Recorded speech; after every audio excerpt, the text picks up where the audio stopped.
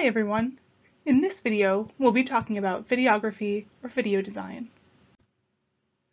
Design Lab is a free resource here on campus to help you better apply design principles to your multimedia projects. At Design Lab, we work from a model called the CAT of effective design. I don't mean this kind of cat, but rather, when evaluating whether media projects have good design, in Design Lab we use the CAT principles. C is for conceptual. What's your main idea, or your main argument, and who is the audience that you're trying to speak to? A is for aesthetics. What's the look or style of your work? Do the colors, font, contrast, structure support your ideas? Are your choices consistent and coherent? Do they speak to your specific audience? And finally, the T is for technical. Are you using your tools well to support your aesthetic and concept? So let's begin with our concept. Building a video can often feel daunting between writing, recording visuals and audio, and editing. It can be difficult to know where to start. Breaking your thoughts down into manageable pieces will allow you to tackle one portion of your video at a time and build an organizational structure to adhere to. One place to start is to simply spend some time looking at the kinds of videos that you would like your video to look like. You can find many videos on various social media platforms to see what others are doing. What kind of imagery do they use? What kind of content? What about text or captions? You can draw inspiration from what you see around you.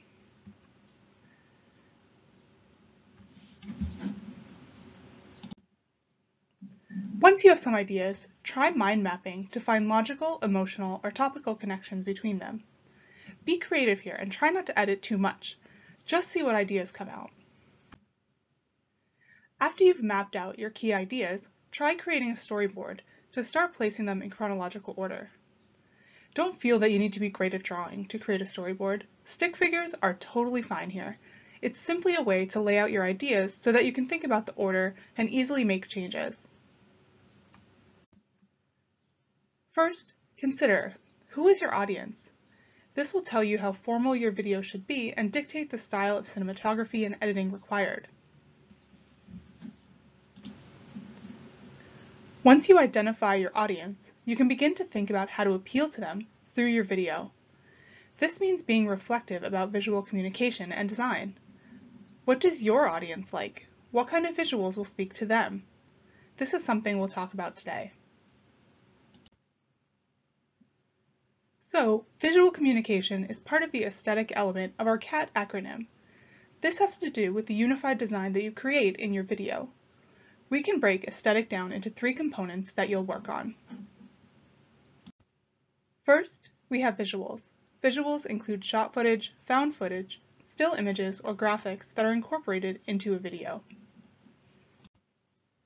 Next, we have sound. Sound is often ignored, but it's an essential part of your video. Bad sound means no movie. Don't neglect sound. And finally, editing. While it's the final step of making the video, it's a good idea to think about the final product while you're filming. Before you shoot your video, ask yourself, do I need a shot of X in order to demonstrate the concept Y? Writing up a shot list or your storyboard will help you make sure that you have what you need once you begin to edit but we'll talk about editing a bit later on. So let's start with the visual. Note the small easel in the bottom left corner. This lets you know that we're thinking about visual elements of your filming. In the visual section, we'll cover orientation, focus, shot scale, composition, lighting, and white balance. When you're filming, the first thing to consider is what kind of aspect ratio and orientation you will choose. Notice how the orientation you choose changes what is visible within your frame and thus what your frame will convey to the viewer. Even though I've edited these from the exact same image, notice that in the landscape shot, we cannot see the subject's hands, and there is more focus on the table behind her. In the square shot, we start to see a bit of the surface where her arms are resting and the pen in her hands, and there's less focus on the background table. In the portrait shot, the surface in the foreground and the objects on it become a really important part of the story. We can also now see the windows behind her. Which you choose depends on what equipment you're using, how you want to compose figures and objects in the frame, and especially what you plan to do with the video.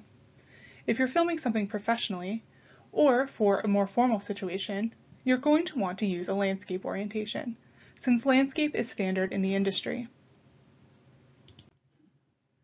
In many cases today, we see videos that use a portrait orientation. These are especially popular on social media platforms. And that's because our phones are vertical, or at least we usually hold them vertically to film. And one of the reasons this works so well is because it allows us to capture figures, people, really well, as well as other kinds of subjects that are oriented vertically. So when you're thinking about how to orient your shot, consider both the final platform that you intend to use, as well as what sort of things you want to capture within the frame.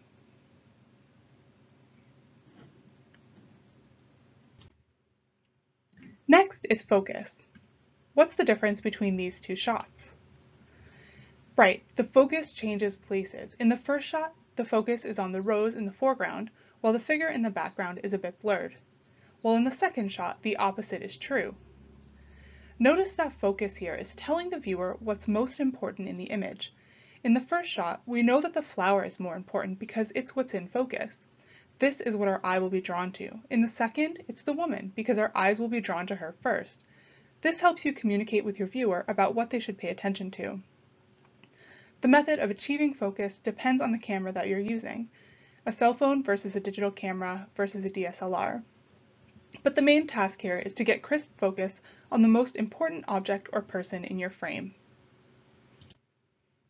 An easy trick for checking focus is to simply zoom in on your subject, subject's eyes, since this is the most communicative part of a person's face. Make sure that the eyes are clear when you zoom in, and then zoom back out to your chosen framing this will ensure that your subject is perfectly in focus. Next, we have shot scale, which is a major aspect of video communication.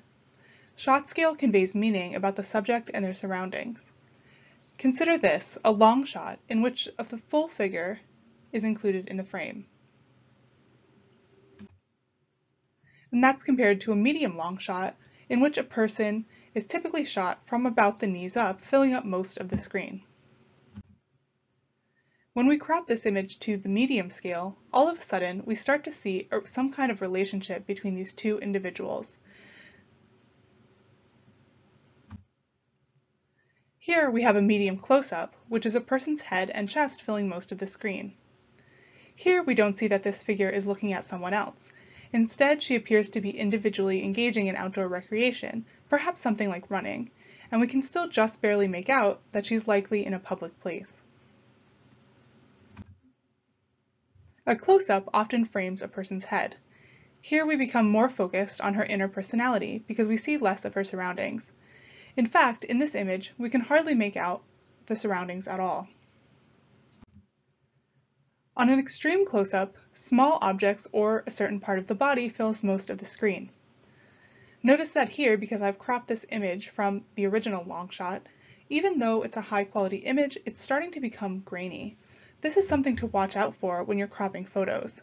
Remember that it's always better to capture the shot you want as you're taking them so that you can get the highest quality.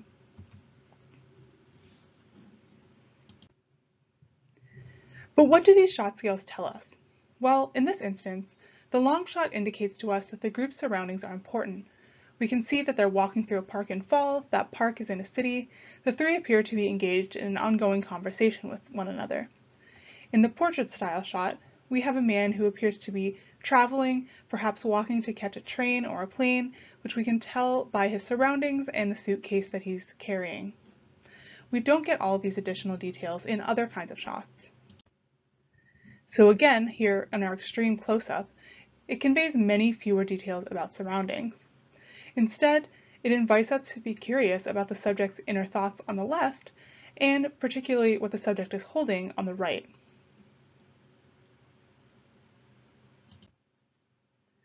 A safe shot scale for interviews and general filming is the medium or medium close-up shot. These are comfortable scales because they're similar to the way we normally interact with others. It provides you with sufficient detail while also giving you a bit of information about the surroundings. Another tip to framing your subjects is known as the rule of thirds. When you set up your shots using the intersections of thirds lines to position your subjects. Here the man's face is the most important element in the frame, so the photographer has placed him in the upper left-hand intersection of thirds lines. Although we often talk about the rule of thirds in terms of landscape-oriented photos, it also works for portrait photos as you can see here. Some of the most engaging parts of the photos are arranged at approximately the intersection of thirds lines. And of course, it also works for square.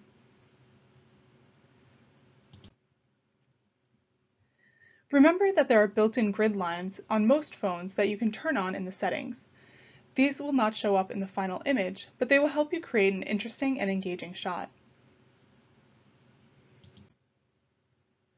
By attending to thirds lines, you can avoid the common mistake of giving your subject too much or too little headroom, which you can see in the examples here on the left and right. Instead, you want to go for just the right amount of headroom, which you can see demonstrated in the center, center picture. With a slight reframing using our rule of thirds, we can improve this even more, eliminating any awkwardness in the headroom and creating a pleasing composition. And here's that image without the third lines marked. In most cases, your subject will not be directly addressing the camera or audience, so you'll shoot them at about this scale. But something probably seems a bit off about this picture, and that's to do with lead or nose room. There's not enough lead room in this image. The figure is kind of squished up against the side of the frame. Here it's getting a bit better because they're centered in the frame, but we can still make this more pleasing. Now it's perfect. We have the figure in the frame with enough lead or nose room. You can imagine a comic book image with a speech bubble placed in front of the character's mouth. That's about how much room you should be leaving in the direction that your subject is facing. And don't forget about this in portrait and square orientations as well. So here we can see that lead room applies in both of these images. Now let's talk about lighting. Your subject's face is the most important communication tool, so you want to be sure that it's well lit. Filming a person against a bright window, for example, will cast them into shadow and prevent the viewer from seeing them properly. When you shoot indoors, try to establish what's known as a three-point lighting setup. You have your key light, fill light, and backlight.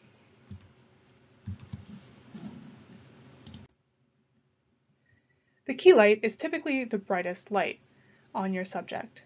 Notice, however, when we have only the key light, a dark shadow is created on the other side of the figure. When we add a backlight, it helps to separate the subject from their background, but we still have some shadows that we might want to address. When we include a fill light, it helps balance out the shadows created by the key and backlights, while also illuminating the other side of the person's face. Now the face is well lit. Setting up a full three-point lighting arrangement may seem daunting, but be aware that you can use household lamps and natural light from windows to accomplish this. Your standard desk lamp or floor lamp, for example, can serve as a useful spotlight. And don't be afraid to include some shadow at times. This can greatly enhance the emotion you're trying to convey. Just be sure that when you do so, it's intentional, and you make the decision to add or remove light to achieve a certain look. Let's talk briefly about white balance. White balance is used to adjust colors to match the color of the light source so that objects appear white. It's best to aim for a neutral color temperature, as in the center picture, where white appear, whites appear as true whites. That is, they match the color that you perceive with your eyes in the specific location where you're shooting. You can use a piece of paper to test your white balance before shooting. If you want to go for a cooler or warmer temperature, you're better off doing this in the editing process in case you change your mind later on. In other words, it's much easier to make a change from neutral than to go from warm or cool back to neutral.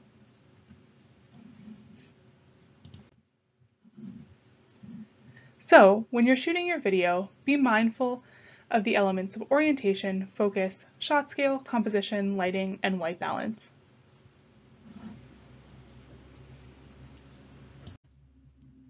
Now let's move on to sound. The number one issue for amateur sound recordists is not listening for potentially destructing or damaging sounds. Wind, electronic buzzing, or echoes are just a few types of noises that you'll want to be aware of. Beware recording in locations like this. This is the terrace at UW-Madison Memorial Union, and it's a gorgeous place, but it's full of wind, noises, and conversation. These will all be picked up by your microphone. Similarly, avoid locations with electric interference that can cause hissing or buzzing. Or if you do decide to record in a location that may have interference, try to remember to unplug or turn off those noise sources. For example, if you're in a space like a kitchen, be sure to turn off the refrigerator. These can be more noisy than you think. Finally, be sure to avoid wearing jewelry or clothes that may make noise. Now I want to briefly touch on the last consideration of the CAT of effective design, and that's the technical. Don't overthink what equipment you use. Instead, go for the simplest solutions and what you're most comfortable with. For most folks, this may mean recording using your phone. If you decide to shoot with your phone, here are a few tips. First, enter airplane mode. Try to use your rear camera your selfie camera is often of lower quality. Be sure to fill the frame fully with your subject. It's often better to move closer to your subject instead of using the, di the digital zoom. Try to avoid flash. Instead, try natural or three-point lighting setups. Use a simple and uncluttered background. And always try some test shots first. A final tip is to make sure that you always use some form of stabilization for your camera. This might mean using a traditional tripod, but you can also use various DIY methods like stacked books, tables and chairs, and even small items like Legos or hair clips can help you to stabilize your camera. You can also use a small, a small portable tripod, which often have attachments for smartphones. Or you can simply use your own body by resting your elbows on a table in order to make sure you're holding your device still.